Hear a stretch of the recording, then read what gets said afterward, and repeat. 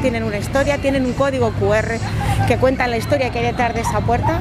Y bueno, yo creo que merece la pena, merece la pena que, pasemos por aquí, que pongamos mm, a este día en su sitio, que seamos conscientes de todo lo que hay detrás. Esta es una actividad lúdica, pero detrás hay muchas historias muy duras, eh, mujeres que siguen siendo asesinadas y niños que siguen y niñas que siguen sufriendo la violencia y por lo tanto bueno pues esta actividad y todas estas entidades que suman y trabajan por, terminar con esta con esta violencia pues yo creo que hay que darle voz, hay que darle visibilidad y que estamos aquí y seguiremos estando, que al final todas podemos ser todas ellas. Maldito hombre, ¿por qué me hablas tan mal? ¿Por qué empezaste a cambiar?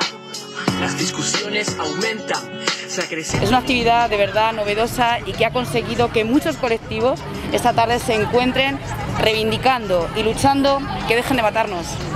Que asesinarnos por el hecho de ser mujer no lo vamos a permitir. Que que nuestros hijos e hijas se queden huérfanos no lo vamos a permitir. Y que haya niños y niñas que son asesinados no lo vamos a permitir. Y hay que decirlo y pelearlo con esa contundencia, porque no hemos acabado ni conseguimos acabar con la violencia contra las mujeres. Porque son 41 las mujeres que en todo este año, hasta fecha de hoy, han sido asesinadas. Porque son 23 niños huérfanos y huérfanas. Porque las cifras no son para mirar para otro lado y no se puede mirar para otro lado. Detrás de esas puertas hay muchas historias. Y lo que hemos hecho hoy es traerlas delante de esa puerta. Viví bajo la tormenta fría de un eterno invierno. Sus palabras son veneno. Y cada insulto es una herida que yace en mi corazón. Ese hay que tomárselo en serio. Luego me encanta ver a gente joven. El principal objetivo es la educación. Nuestros jóvenes están concienciados. Hoy estamos viendo cómo gente del Instituto Atenea, como gente de distintos colectivos están participando. Luego también quería poner eh, de manifiesto la lucha contra la trata y contra la prostitución, porque también son unas formas muy claras de violencia contra las mujeres.